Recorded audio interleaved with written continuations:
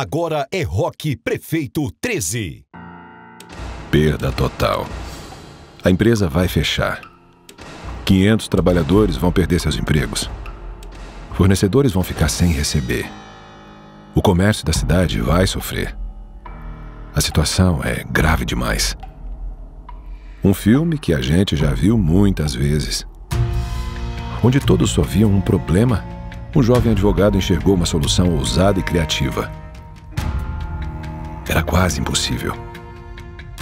Mas Jorge Rock, junto com os trabalhadores, criou um plano de recuperação. Eles assumiram o compromisso de resolver.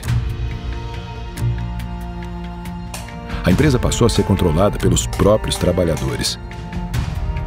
Abriram um processo programado de falência. Ganharam tempo para respirar e trabalhar. Conseguiram abrir novos mercados, no Brasil e no exterior. Voltaram a pagar os direitos trabalhistas Hoje a Nova Smar exporta para 55 países e tem entre seus clientes a rigorosa Marinha Americana. Rock ajudou a salvar uma empresa, manter empregos e preservar a economia de uma cidade. Esse é um caso de sucesso real que está aí para todo mundo ver. Rock é o cara que chega, trabalha e resolve.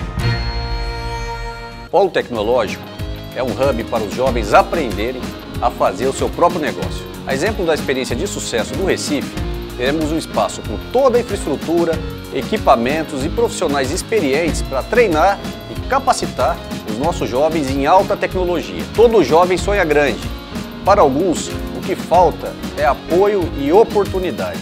O Polo Tecnológico vai dar um impulso para eles voarem alto. Talento, eles têm. Vontade, com certeza, também. Vamos semear e deixar brotar um futuro promissor para cada um deles. Rock Prefeito 13.